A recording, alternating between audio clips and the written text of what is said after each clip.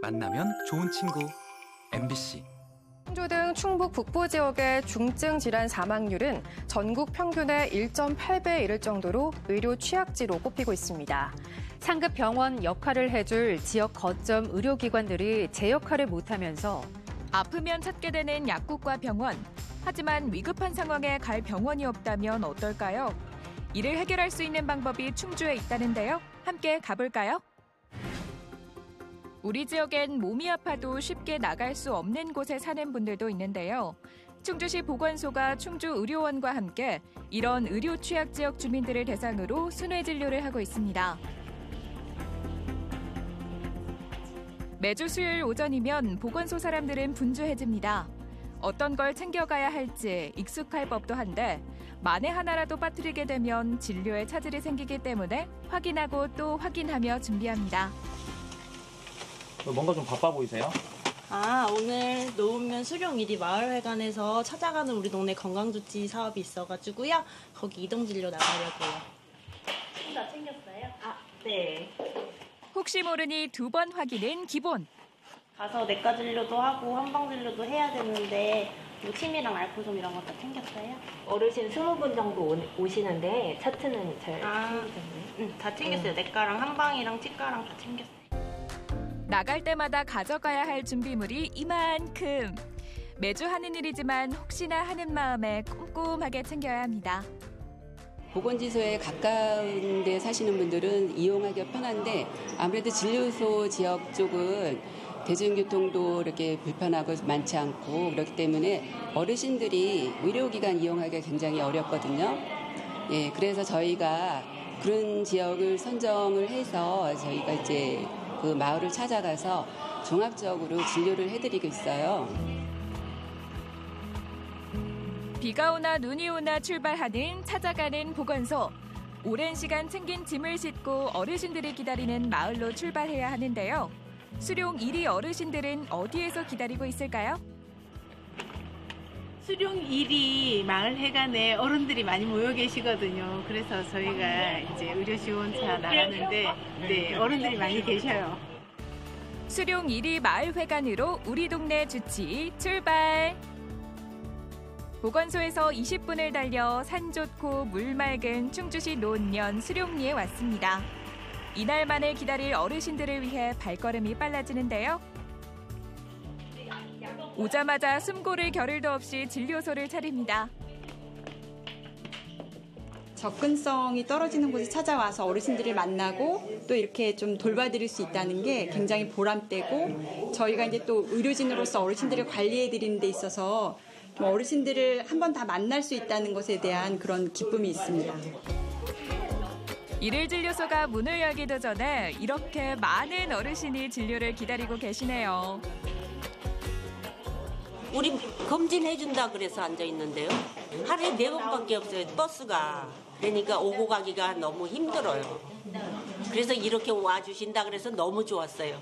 속도 안 좋고 유- 뭐 하여튼 능- 지금 나이가 있어서는지 노안이 오는 건지 밥도 지금 아주 못 먹고 불편한 게 지금 많아요 아주 그냥 여기 안에 내과랑 치과 진료 보셔도 되거든요. 필요하신 분 들어오셔서 보세요. 속 안 좋으시고 일 안 좋으신 분 이쪽 방으로 들어가세요. 기다렸다는 듯이 이야기를 쏟아내는 어르신. 오늘을 많이 기다리셨나 봐요. 혈압 먼저 잴게요. 시내 병원으로 쉽게 나갈 수 없는 사정이기에 이 순간이 더욱더 소중한데요. 내과 진료 보는 곳이고요. 여기 이제 혈당 혈압 재고 일차 사정을 통해 선생님께 의뢰하고 약까지 네, 처방 받아서 그렇게 진행하는 곳입니다. 찾아가는 우리 동네 주치의 인기가 높아져서 올해는 지난해보다 찾아갈 곳이 더 늘었다고 하는데요. 가까운 곳에서 도움의 손길을 받을 수 있기 때문에 거동이 불편한 어르신들이나 의료 취약지에서는 더 반겨준다고 합니다. 혈압이 평소에 좀 재보신 적이 있나요? 조금 낮거든요? 평소에 몇 정도 나와요? 토할 것 같다, 어지럽다 그런 거 있고요. 진료를 받기 위해 아픈 몸을 이끌고 나온 어르신은 기다렸다는 듯이 자신의 상황을 설명하는데요. 불편한 치아 때문에 얼마나 힘드셨을까요? 입을 좀 크게 벌리시래요. 아, 어르신들의 상태를 꼼꼼하게 확인하고 무엇이 문제인지를 알려드립니다. 간단하게 검진이나 아니면은 이렇게 어르신들 보통 이제 틀니 끼고 계시니까 틀니 이제 관리 교육이나 아니면은 뭐 불편한 점 위주 상담하고 있습니다. 그 순서를 정하셔서 닦는 게 훨씬 더 이제 예리하게. 예, 예, 예. 골고루 닦으실 수 있는 거죠. 예. 네. 여태까지 그냥 네. 이렇게 옆으로 닦는 사람이 다 많아. 먹고 살기 바쁜 시절을 지나면서 제대로 몸을 돌볼 시간이 있으셨을까요? 지금이라도 제대로 관리할 수 있게 지도해줍니다. 잘 배우셨죠, 언니? 예, 선생님 우리 네. 우리 어머님들이 아버님들이 이렇게 네.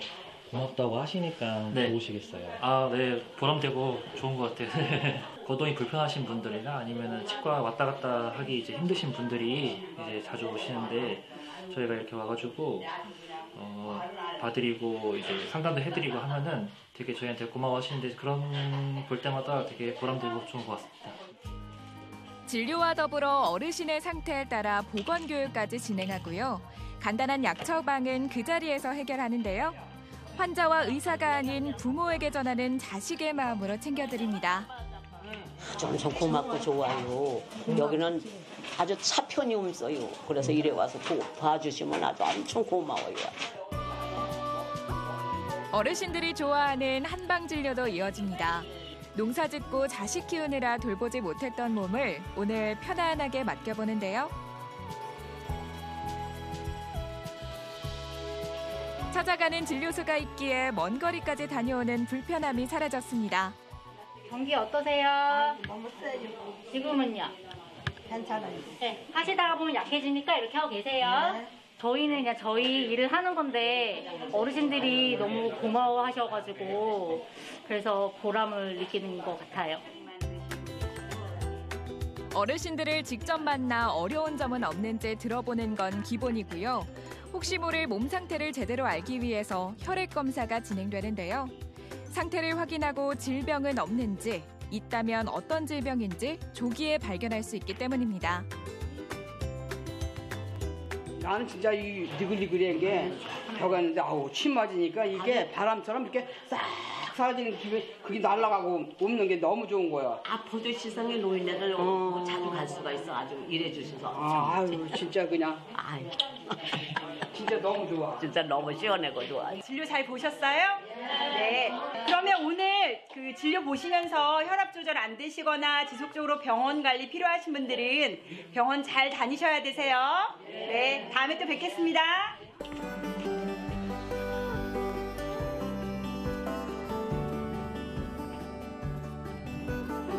저희가 올해는 찾아가는 우리 동네 건강주치의를 19군데를 지정을 했어요. 그래서 지난주에 소태마을을 방문했었고요. 오늘 이제 수령마을에 와서 두 번째인데요. 앞으로도 17개 마을에 찾아가서 어르신들을 찾아뵐 계획입니다.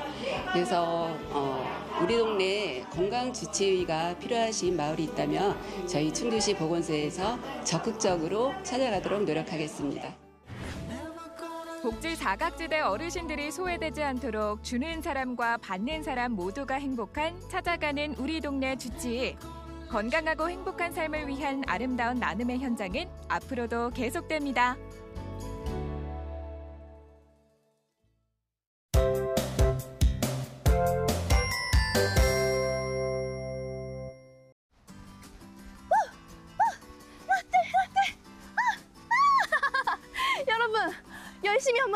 뛰어봤어요. 제가 이렇게 오늘은 운동복 차림으로 여러분들께 인사를 드립니다. 왜 그러하냐? 바로 새해를 맞이해서 결심 하나를 세웠거든요. 요즘 젊은 분들도 많이 도전하시는 것들 중 하나죠. 바로 건강한 삶을 위한 러닝. 저도 한번 오늘 도전해 보려고 하는데요. 갑시다!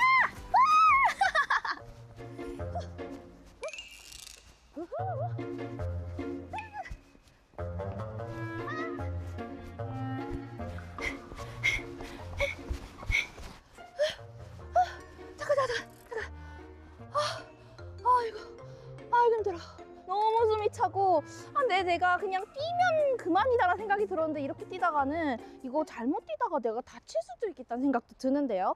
이게 혼자 뛰려니까 좀 외롭기도 하고 이 모든 것들을 좀 충족시켜줄 만한 뭔가 뭔가를 만나러 가보면 안 될까요? 러닝도 배워야 잘 뛸 수 있습니다. 잠자고 있던 질주 본능을 깨워줄 슬기로운 러닝 생활. 지금부터 함께 달려보실까요? 런던!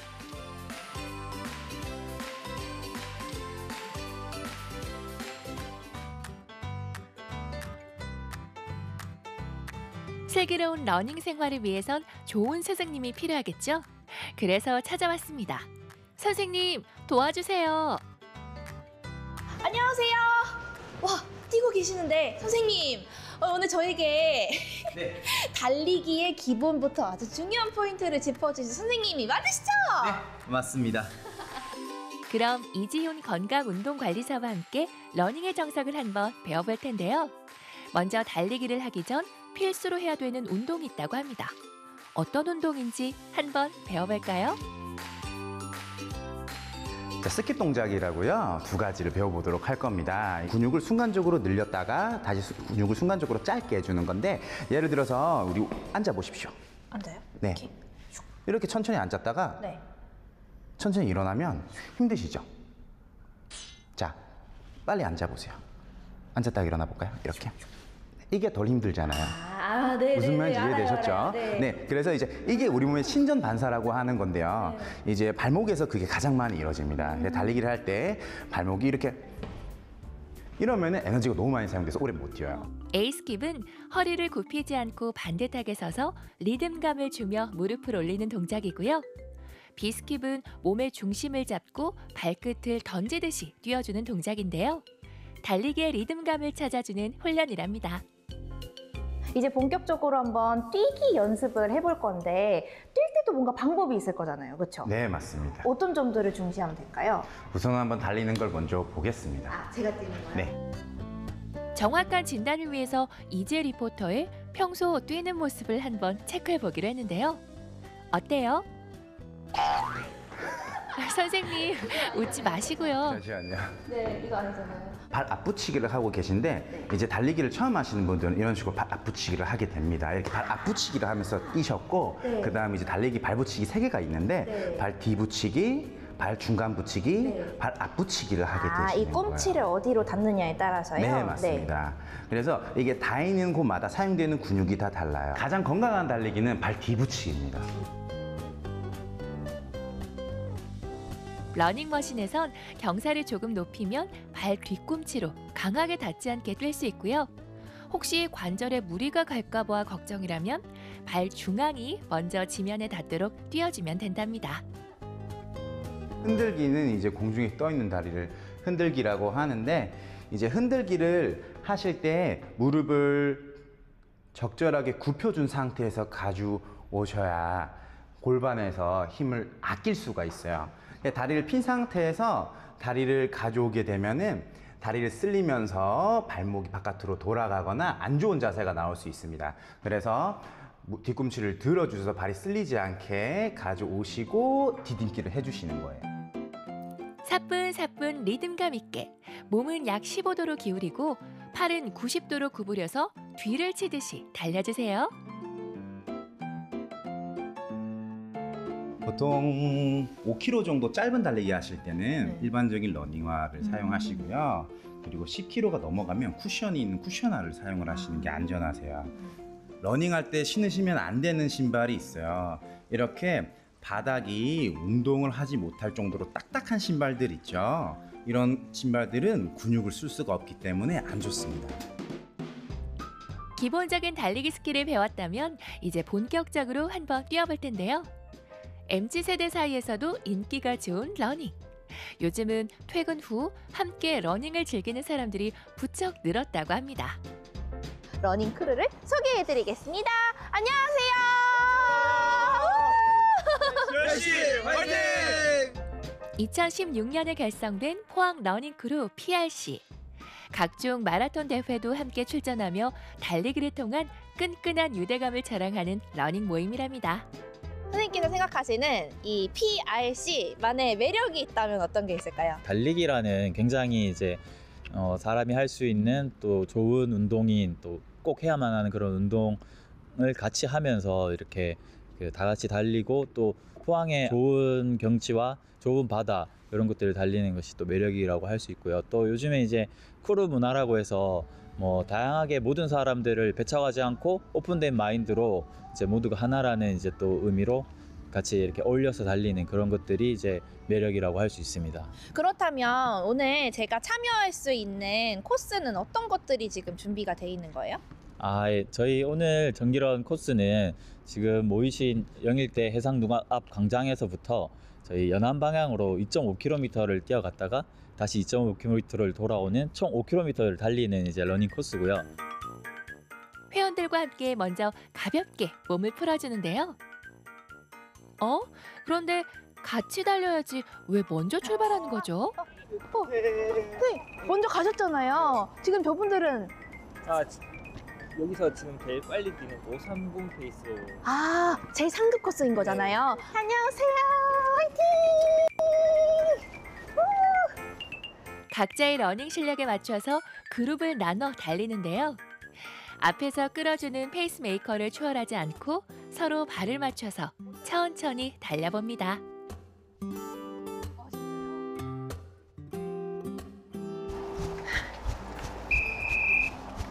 이렇게 바다 보면서 뛸 수 있는 러닝 동호회가 또 있을까 싶네요.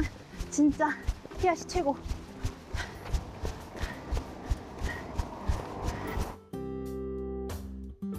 포항 밤바다 에서 달리는 기분 낭만적이면서도 상쾌할 것 같은데요. 이렇게 달리다 선두 그룹과 마주치면 서로를 응원하는 이것이 러닝crew의 멋. 또 아직 그 PRC의 crew가 되지 않으시는 분들께 PRC를 소개하고 싶다면 어떤 점을 내세워서 소개하고 싶으세요? 저희 PRC는 아까 앞에서 말씀드렸던 것처럼 포항에 좋은 곳들을 달리고 또 포항뿐만 아니라 전국 방방곡곡 재밌는 대회와 어, 즐거운 마라톤 대회가 있으면 다 참석하고 막 하거든요. 그래서 언제든지 저희가 이제 오픈된 마인드로 환영해드리고 하니까 음. 즐겁고 건강에 좋은 달리기를 이제 꼭 같이 해서 건강한 삶, 활력 있는 삶을 같이 찾았으면 좋겠습니다. PRC 환영합니다. 환영합니다. 화이팅!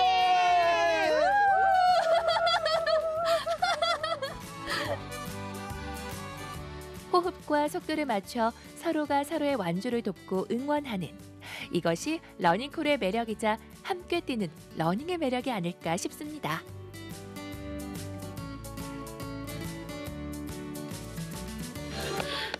네, 첫 러닝이었습니다. 어, 눈물 나. 2024년 새롭게 달릴 준비 되셨나요? 올바른 러닝 습관, 혼자보단 함께하면 더욱 즐거운 달리기. 우리 함께해요.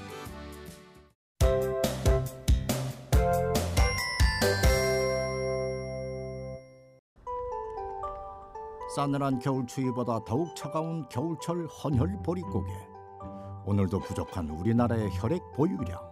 지금 혈액 보유 일수가 관심 단계에 지금 들어와 있습니다. 병원에 혈액 공급하는 과정이 좀 더 어려워지는 상황이고요. 병원에 계시는 환자분들이 수혈 받는데도 조금 지장이 생기는 상황이 발생할 수 있습니다.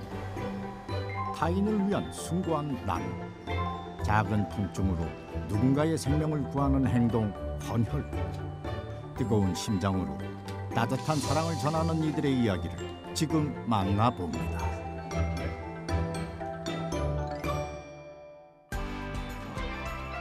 대구 동성로에 있는 한 헌혈의 집. 평일 낮 시간대임에도 헌혈을 하는 사람들로 제법 붐비는데요.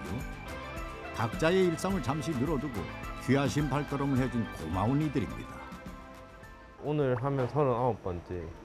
기억으로만 한 220번 정도 될 겁니다. 대한민국 5천만 국민 중 지난해 헌혈에 참여한 사람은 약 250만 명. 5% 남짓한 헌혈자들이 국내 의료기관에 필요한 혈액을 충당하는 상황. 그 중에서도 동수 씨처럼 지속적인 헌혈을 하는 사람은 아주 드물죠. 몸에는 전혀 뭐 이상이 있다는 이런 거는 못 느꼈어요. 오히려 하면 할수록 혈액이 한번 바꿔주니까 몸이 좀 막 개운하다 그럴까? 70년대 초였으니까 그때는 지금처럼 이런 혈액원이 생겨가 하는 게 아니고 그때 그때 필요에 따라서 이제 동성로 같은 데서 헌혈차가 대기하고 있고 그래서 뭐 남들 하기로 그냥 저는 그때는 아무 생각 없이 그냥 단순 호기심이었죠 그때는.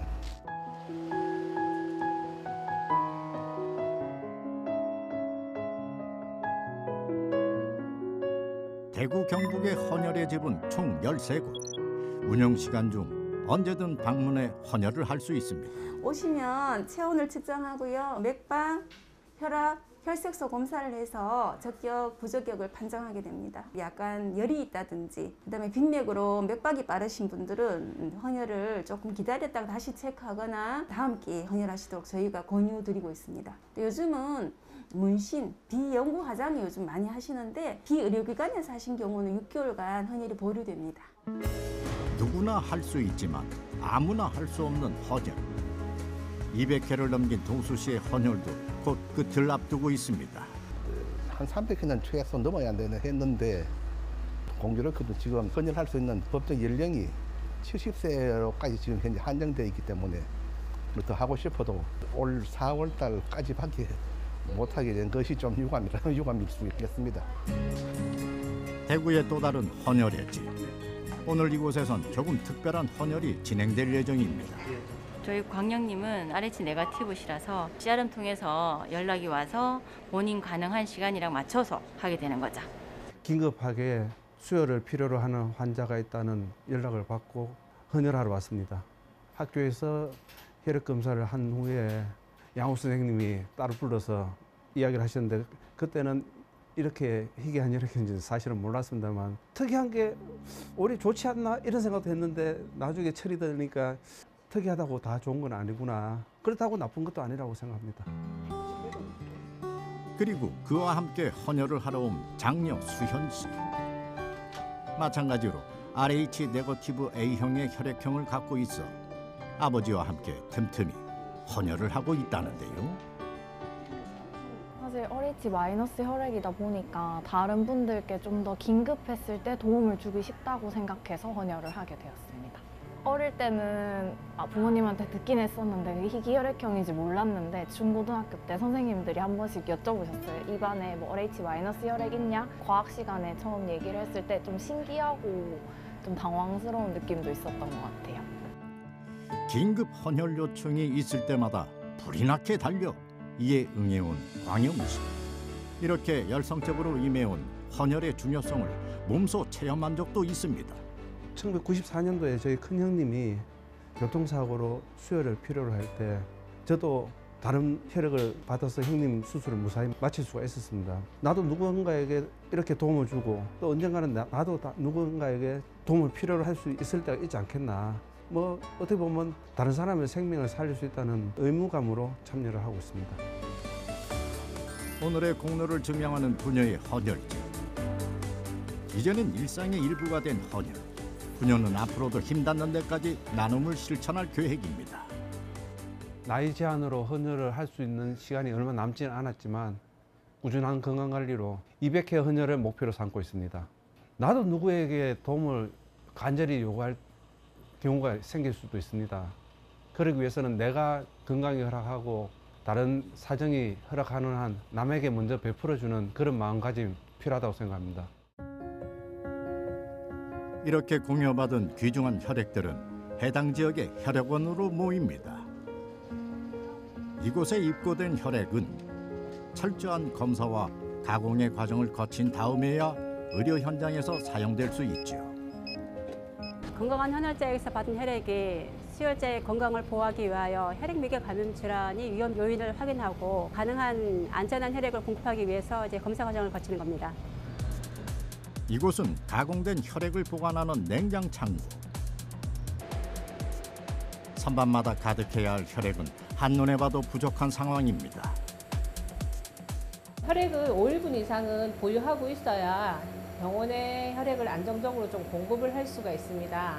근데 지금 저희가 보유하고 있는 양은 4.7일분이라서 병원에 충분하게 혈액을 지금 공급하지 못하고 있는 상황입니다. 위급한 수술에도 혈액이 부족해서 수술이 delay가 된다거나 그런 상황들이 많이 발생할 수 있어서 환자의 안정성을 확보할 수가 없는 그런 어려운 점이 많이 있습니다. 특히 지금처럼 날씨가 춥고 학교가 방학하는 계절은 그야말로 헌혈의 보릿고개. 그렇기에 시민들의 자발적인 참여가 더욱 중요합니다. 헌혈하면 감염되는 거 아니냐 이런 오해를 제일 많이 하시거든요. 근데 사실 저희가 사용하고 있는 물품들은 전부 다 일회용으로 사용을 하고 있기 때문에 헌혈하고 감염되는 사례는 거의 없다고 생각하시면 됩니다. 그런 오해는 안 가지셔도 괜찮으실 것 같습니다. 그래서 자발적인 헌혈 참여가 이루어져야지만 병원에 있는 환자들이 생명을 구할 수 있는 그런 상황입니다. 그래서 지금 동절기 때는 혈액이 굉장히 수급 상황이 좀 어려운 상황이라 지금 이 방송을 보고 계시는 분이 계시다면 헌혈의 집 가까운 곳을 찾아주셔서 헌혈에 꼭 참여해 주셨으면 감사하겠습니다. 마지막으로 찾은 곳은 달서구의 한 119 안전센터. 이곳에서 근무 중인 소방관들 중에서 독보적인 헌혈 횟수를 자랑한다는 이분. 지금까지 몇 회 정도 하셨어요? 어, 지금까지 헌혈을 235회 정도 했습니다. 그동안의 노고를 증명하는 헌혈 유공패와 산더미 같은 헌혈증. 말로만 듣던 헌혈 유공자의 인증 소식에 주변 동료들도 어느샌가 관심 집중. 네, 300번 남았어 지금. 지금은 65번 더 남았어. 300번까지? 배 저런 걸 보니까 저도 조금 헌혈이란 걸 해보고 싶다는 생각도 들고 자주 마- 자주 하는 건 알고 있었는데 이 정도로 헌혈 명예 대장일 줄- 줄이야 몰랐습니다. 고등학교 1학년 때 적십자 동아리 활동을 하면서 시작하게 되었습니다. 특별히 선행을 한다는 게 아니라 그냥 한, 한 달에 한 번 좋은 일을 하고 그 좋은 일을 통해서 제 기분이 좋아지고 그 기분 좋은 날이 쌓이고 쌓여서 제 삶을 유지하는 방식입니다. 현재 구급 대원으로서 매일같이 바쁜 나날을 보내는 병인 씨. 반복되는 일상 속 헌혈은 삶의 활력소로 자리 잡았습니다.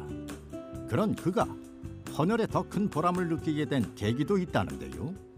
신종 플루가 유행할 때 제가 간호사 생활을 하고 있었습니다. 그 당시에 병원에서 혈액이 부족해 힘들어하는 환자분들이 매우 많았습니다. 그 당시 저의 작은 헌혈로 인해 환자분들에게 도움을 줄 수 있다는 게 참 보람되고 좋은 경험이었습니다. 시민들의 안전을 책임지는 119 구급대원이자 헌혈로 누군가의 생명을 잇는 수호천사 병인 씨. 오늘도 그는 도움이 필요한 이들에게 손을 내밀고 있습니다. 제가 건강 관리를 꾸준히 해서 헌혈을 할 수 있는 나이까지 적어도 한 달에 한 번은 헌혈을 꾸준히 할 수 있는 삶을 유지하는 게 제 목표입니다.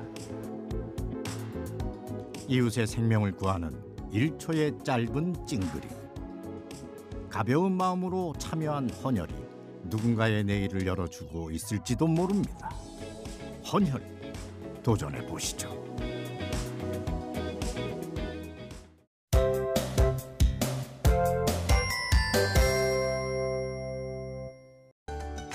오미자의 변신을 찾아 방문한 곳은 경북 문경. 오미자로 이름난 고장답게 볼 것이 참 많지만 특히 이곳을 빼놓을 수 없는데요.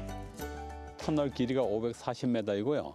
터널 내부의 온도는 평균 13도로 겨울엔 따뜻하고 여름엔 시원한 공간입니다. 터널 내부에는 오미자 와인바와 카페 그리고 홍보 판매장, 도자기 갤러리와 에, 포토전이 조성되어 있는 문화 휴식 공간이 되겠습니다. 오미자와 관련된 다양한 조형물부터 캐릭터와 트릭으로 표현된 벽화까지 오미자 구경도 좋지만 가족과 연인이 함께하는 포토존 맛집으로도 유명하다는 말씀. 들어오면서 진짜 시간 가는지 모르겠고 즐겁게 왔어요. 걷기 좋고 따뜻하고 겨울이니까 실내 내서 좋았던 것 같아요. 타게 구경할 수 있었고 어, 사진 찍을 수 있는 스팟이 많아서 좋았어요. 자, 지금까지 눈이 호강했다면 이제 200에도 양보할 시간. 오미자 관련 제품들도 이곳에서 빼놓을 수 없는 볼거리 중 하나인데요. 여기에는 어떤 제품들이 있나요? 원액을 활용한 음료가 있고요. 그리고 또 오미자를 활용한 또 오미자 김이 있고 뭐 여러 가지가 있습니다. 또 한 가지 특별히 소개하고 싶은 건 7년간에 걸쳐서 이제 연구 개발 완료된 오미자 돼지가 있습니다. 오미자와 돼지가 만나다? 궁금증을 해결하기 위해 길을 나선 곳은 영남의 관문이자 문경의 대표 관광지인 문경세제. 이곳에 맛집으로 유명한 곳이 있는데요. 오미자 돼지를 여기서 만날 수 있습니다. 그렇다면 어떻게 해서 오미자 돼지를 알게 되었을까요? 개발자님이 어, 지인인데 7년 전에 저한테 오셔서 오미자를 이제 얘를 돼지를 키워 볼란다 이렇게 말씀하시더라고요. 그- 그렇게 되면은 여기서 한 군데 하자 제대해서 그때는 이제 가볍게 아 그러세요 이랬는데 7년 동안 그걸 진짜 해내더라고요. 인고의 세월 끝에 완성된 오미자 돼지 영롱하게 빛나는 선홍색 물결과 잘 배분된 마블링이 식감을 자극하는데요. 작년 하반기부터 판매를 시작해 지금은 전국적으로 공급 중이라고 합니다. 목살이 약간 터벅거리고 이렇다고 이제 목살을 잘 안 드시는데 얘는 육즙이 엄청 많아요. 그리고 되게 부드러워요. 그러니까 어른들이 어른들 모시고 오신 분들은 목살 위주로 많이 드시고 드시던 분들은 목살을 구워 놓으면은 약간 소고기 스테이크 먹는 느낌, 와인이 생각날 정도로 딱 그 느낌이래요. 오미자 돼지고기는 주로 삼겹살과 목살이 판매 중인데요. 오미자를 먹인 돼지라 그런지 식감은 살리고 잡내도 잡고 맛까지 챙기니 1년이 채 안 된 공급 기간임에도 찾는 사람들이 많습니다. 육즙이 많고요. 어, 냄새가 전혀 없네요. 먹어보니까 끝에 뭐 입에 기름기 도는 것도 없고 아주 맛있습니다. 너무 맛있어요. 육즙이 쫙쫙 나요, 막. 어, 고소하고 냄새 없고 부드럽고 너무 맛있어요. 최고. 설마 오미자 돼지고기로 만족한 건 아니죠? 또 다른 변신을 찾아 방문한 곳은 어느 한 국밥집. 지금 뭐 먹고 있어요? 오미자 먹고 있어요. 오미자 먹고 있는데요. 국밥집에서 오미자? 날씨가 좋아지면 빠지지 않는 음식이 바로 국밥. 사람들이 흔히 찾는 국민 대표 음식이 국밥이긴 하지만 설마 여기에도 오미자가? 어디를 봐도 오미자는 보이지 않는데 어딨어? 어딨어요? 아 여기에 다 들어가 있죠. 얘가 어, 오미자를 먹고 큰 돼지라서 여기에는 이제 사골하고 돼지 족이 들어가서 이제 끓여지는 육수 과정이거든요. 그럼 국밥 한 그릇 먹어볼까요? 손 큰 사장님이 푸짐하게 썰어놓은 오미자 돼지고기에다 뽀얗게 우려낸 국물을 더해 한 그릇 담아내면 이것이 바로 오미자 돼지국밥.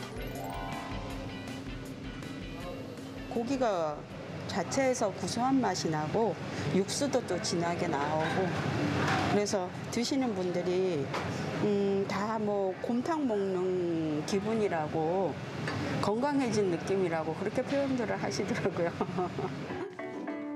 건강함을 한가득 담아 따뜻하게 우려내면 받는 사람 모두가 맛있게 먹을 수 있는 음식.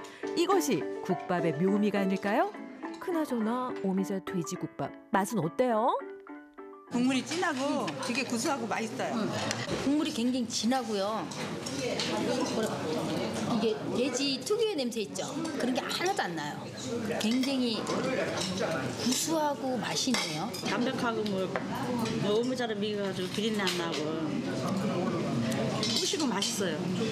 최고. 다섯 가지 맛이 난다는 오미자. 다양한 맛 때문에 과연 어떤 변신이 가능할지 궁금해하는 분들 많은데요. 여러분도 오미자의 다양한 변신을 따라 문경으로 오미자 여행 떠나보는 건 어떨까요?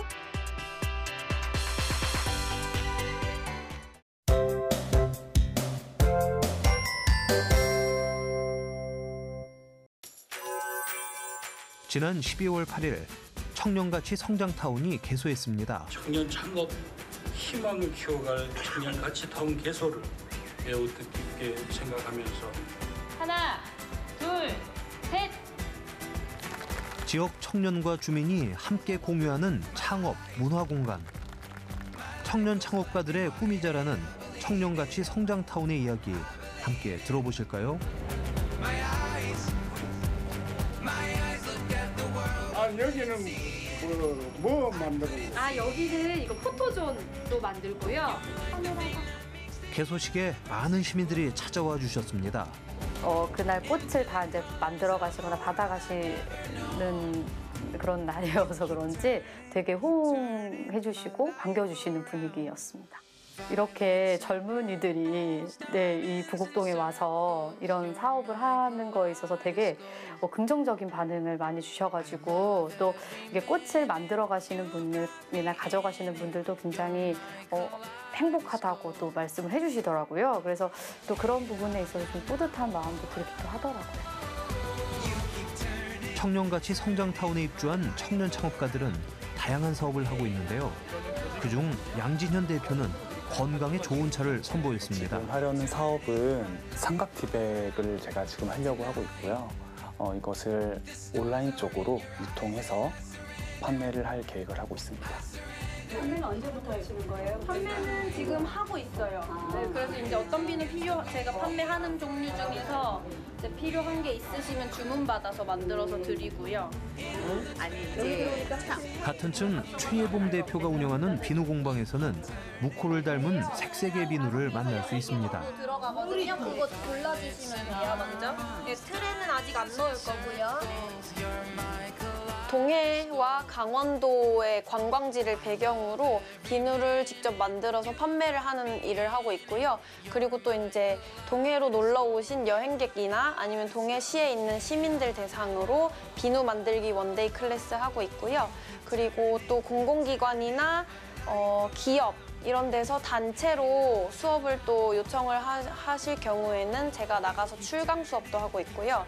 일단 새로 지어서 너무 깔끔하고요. 그리고 이제 밑에 매니저님도 계시고 하니까 관리적인 부분이나 도움을 받을 수 있는 것도 많은 것 같고요. 어쨌든 시에서 운영을 하는 거니까.